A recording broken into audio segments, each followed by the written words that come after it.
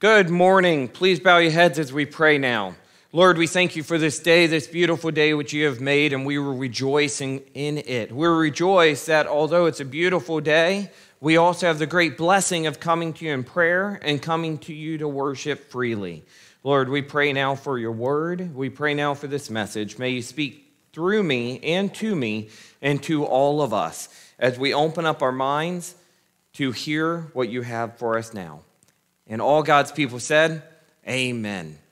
Amen. Well, yesterday at men's breakfast, I was reminded of a story which I'd like to start this morning with sharing with you. I would also like to encourage all the men and all the boys in this room and watching online to, to feel free to join us each month, the second Saturday of the month, for men's breakfast. It's free, it's great food, it's great fellowship with one another. And for this summer, We've actually been doing a summer of hobbies, and we've been getting to learn about different people's hobbies at the same time as getting a devotion and replenishment, a meal, food, excuse me. Lost my breath there. Dwayne Schubridge, I thank you for putting this together and giving leadership to this. And Sam Follendorf, I thank you for yesterday teaching us men how to tie spinners for walleye. Yesterday, we had a boat show, and a couple of us brought in boats, and we shared boating stories and fishing stories. And as we were sitting there sharing these stories, hearing people's stories, one story came to mind, which I wanted to save for today. Obviously, about boating. It starts like this One day in a state far away, Yes, a Star Wars reference in a land far, far away. I was a young eight to 10 year old boy out fishing with my dad when a storm came upon us. Now, you know how it goes when you're having fun. You don't want to you don't want to stop, you don't want to give up, you don't want to leave, so we kept fishing. Although we saw these dark clouds on the horizon, we just kept hoping, kept praying that this storm would just go around us or that it would not let loose over top of us.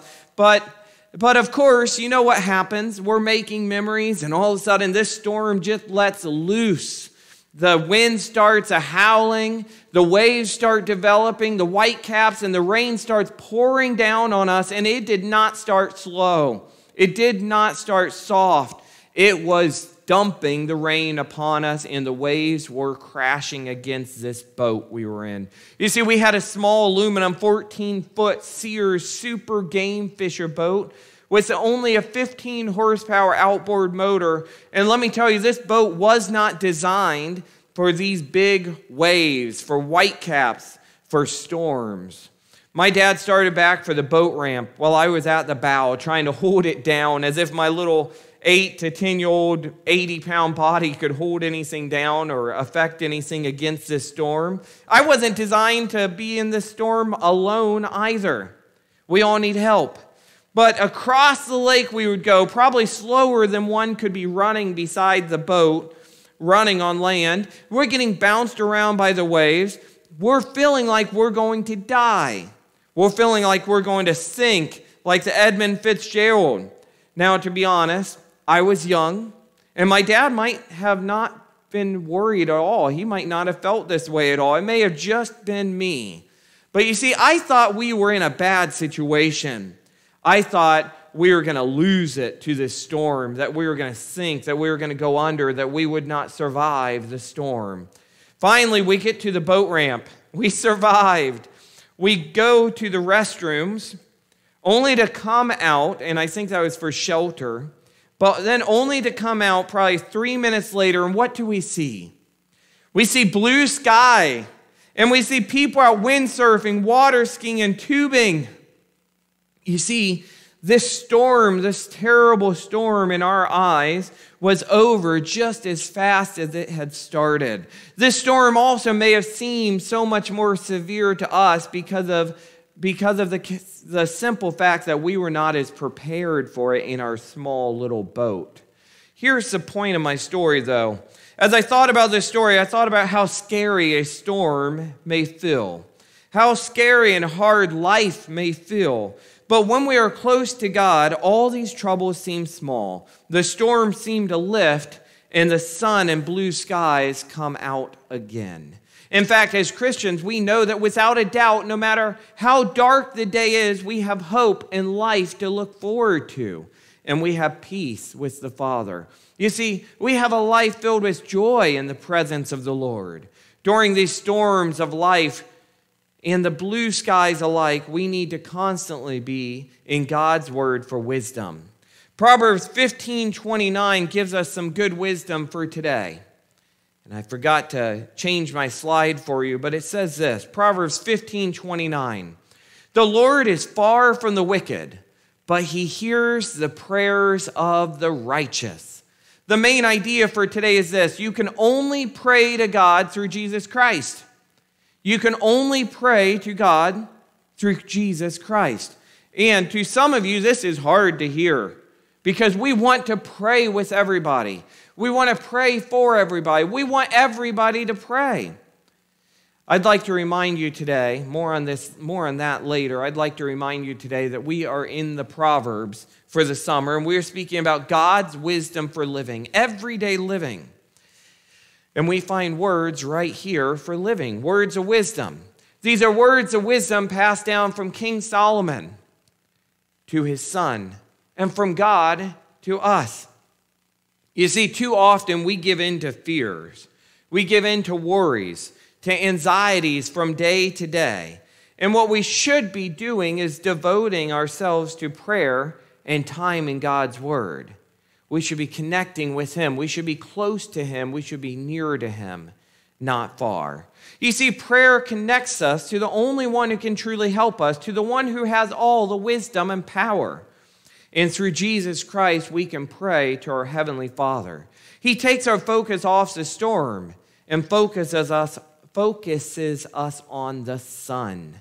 The sun, the beautiful, the radiant, the powerful, the bright sun, a Savior, the Son of God, Jesus Christ. You see what I did there? The Son of God, Jesus Christ, takes the storm away like the beautiful sun in the sky shines through the clouds. Jesus Christ shines through our troubles in life and helps to focus us on what matters. We do not need to worry when we submit to God, when we follow Him, when we trust in Him. He will lead us, He will hear us, He will guide us, and provide for us. He will answer our prayers, for He will hear our prayers. But this is not true for all people. Let me read this to you again. Proverbs 15 29 states that the Lord is far from the wicked, but he hears the prayers of the righteous. God is both far and near. That's the title of today's sermon God far and near. God far and near. God is both far and near. And this proverb today helps to point out that there is a right way to pray to God and to be heard and this is by living righteously according to his words and through Jesus Christ. So, who can pray to God? That's a natural question for all of us. And according to this scripture today, only the righteous can. The righteous. Through Jesus, we, we can pray. Excuse me, I should take a drink of water. Truly, anyone can pray to the Lord. But without Jesus Christ, without the righteousness of Him, without confession, without repentance, it is possible that God gives you the silent treatment. In fact, it's scripturally based, it's biblical. It's not that God does not audibly hear you or hear it or hear the wicked. God hears the words of all, for He is all powerful, all knowing, and ever present but he does not hear in a way to respond to all prayers. Let's move forward with point number one here. God is both far and near. Point one God is not far from the wicked in a local sense. God is not far from the wicked in a local sense. You see, the wicked man upon the face of the earth lives and moves, although by his own selfish desires he is always in the presence of the Lord. He is never far from God. He is simply and tragically ignoring God's presence, God's plan, God's will. You see, the wicked lives near to God in a local sense, for God is always near to us. and that's in Acts 17 27. God is always near to us. But I'd like to read this whole scripture to you from Acts 17 22 to 30, which says this Men of Athens, I perceive that in every way you're very religious. For as I passed along and observed the objects of your worship, I found also an altar with this inscription To the unknown God. They were trying to worship anything and everything, even the unknown God, for they wanted to try to be right in the eyes of any and all gods. But there's only one true God. And he continues here What therefore you worship as unknown, this I proclaim to you.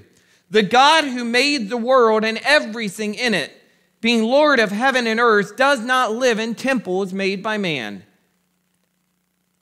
Nor is he served by human hands as though he needed anything since he himself gives to all mankind life and breath and everything. You see, our God is in everything, for he gave breath to everything. He created all things, but it goes on. And he made from one man every nation of mankind to live on all the face of the earth, having determined allotted periods and the boundaries of their dwelling place. But listen closely to verse 27 as it relates to my point here that is, God is not far from the wicked in a local sense, that they should seek God and perhaps feel their way towards Him and find Him. He is actually not far from each one of us. For in Him we live and move and have our being, as even some of your own poets have said, for we are indeed His offspring. Let me continue to read here. Being then God's offspring, we ought not to think that the divine being is like gold or silver or stone, an image formed by the art and imagination of man. Verse 30 The times of ignorance God overlooked, but now he commands all people everywhere to repent, because he has fixed a day on which he will judge the world in righteousness by a man whom he has appointed. And of this he has given assurance to all by raising him from the dead. You see, God is also near the wicked in a local sense, in that he is near to them as they each will be personally judged for the ignorance and continued sinful actions. God is also near to the wicked in a local sense, how he is always present and awaiting their repentance. But without repentance and total submission to him, the wicked shall perish into everlasting torment. These are the so called wicked who are far from God. Point two God is far from the wicked in a moral sense. God is local to God is near them in a local sense, but God is far from them in a moral sense or in one sense. You see, there is often a wide moral distance between those who are locally near to one another. Just because you're in the presence of a person doesn't mean you're really paying attention to that person, doesn't mean you're hearing that person, doesn't mean you're helping that person. For instance, one illustration I found says the father who lives and toils for his children and eats with them at the same dinner table may be as far from them morally as he is nearer to them locally. Proverbs 15:29 speaks of the Lord being far from the wicked. And the reasoning for the, the distance is their wickedness, their ungodliness, their sinfulness, them cherishing selfish desires over the ways of God, their lack of confession and dependence upon Him. God has one view of life, and the wicked ungodly have another. They do not listen to God, and therefore God does not listen to them. Without the righteousness of Christ and following Him, the wicked are forever far from God and are not heard or answered unless it goes along with God's already ordained will and plan. They must yield to God or be forever far and apart from Him.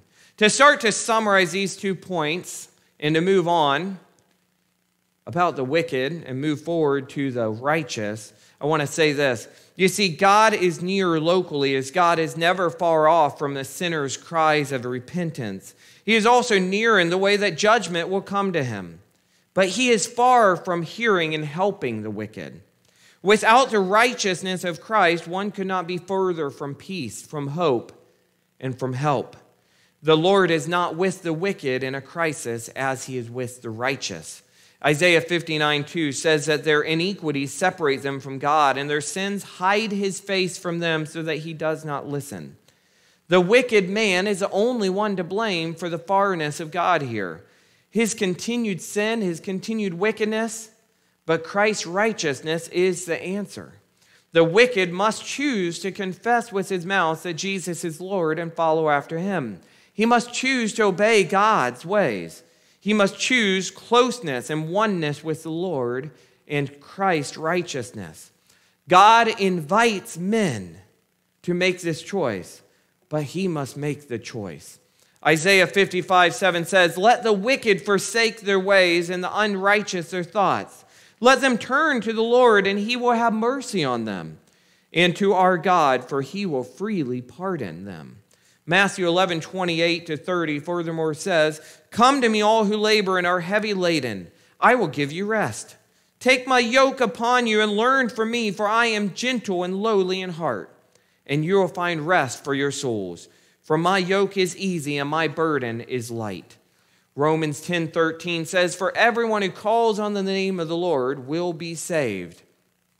And finally, in Ezekiel 33:11, he says that he takes no pleasure in the death of the wicked but desires that the wicked turn from his evil ways and live. God is far from the wicked, yet always close. Sinful living, selfish living, desires, these things separate you from God. These things keep you far. But let me remind you that this is all of us. We are all wicked. We are all sinners. We are all unrighteous. We all seek out our own selfish desires. When you continue to give in to these things, you can feel further and further and further from the love and righteousness of God. But He is still there. We need to submit to Him, confess to Him, and be close through the righteousness of Christ. The wicked man must either turn to God or be forever apart from Him. Moving forward with point three God is near to the righteous. God hears the prayers of the righteous. Proverbs 15 29. There is sympathy between God and the righteous man. God hears the prayers of the righteous man. In fact, he takes pleasure and joy in listening to the prayers of the righteous and to his followers. The righteous and godly man seeks to know God through total submission to him and living according to his righteous ways through Jesus. We can commune with God in prayer. Is this you, though? as you hear that definition I just gave you, the righteous and godly man is a man who seeks to know God through total submission to Him and living according to His righteous ways through Jesus. We can commune with God in prayer. Is this you? Are you righteous through Christ? Are you wicked? Are you a bit of both? I mean, ponder these thoughts. I think really we all are a bit of both. But God sees us as righteous through Christ's blood when we submit and confess to Him? Are you submitting to Him and His ways? Are you trying? Are you confessing and repenting? Or are you trying to do things on your own, by your own power, by your own ways, or the worldly ways? Every day we have a choice. How will we live? Through Jesus, we have an intimate and personal relationship to the Father in heaven. He gives you his ear and he listens to our prayers. He saves and he gives freely of his divine wisdom, strength, and presence. God hears our prayers before we even speak them because he knows you intimately and sees into your souls and the desires of your heart long before you've even thought of these prayers or expressed these desires. God hears the prayers of the righteous before they even open their mouth to pray. Just as God is near to the righteous man hearing his prayers, the righteous man should always be seeking to be nearer to God and opening his ears to hear him. God is both far and near. God is near and far to the sinner, the wicked, the ungodly. God is also near to hear his righteous children. Are you following him? Is he hearing you? Would you like someone to talk to this morning? I encourage you to come talk to me. Talk to a neighbor, talk to a deacon. Come up here and pray with me this morning. Let's pray to God together. Let's repent. Let's confess of our need for Him. Let's talk. As we work to close, there's one additional thought to mention or question to answer. How should one pray to God? How does one prosper? And to this I say we must humbly confess. Proverbs 28 13 says, Whoever conceals his transgressions will not prosper, but he who confesses and forsakes them will obtain mercy.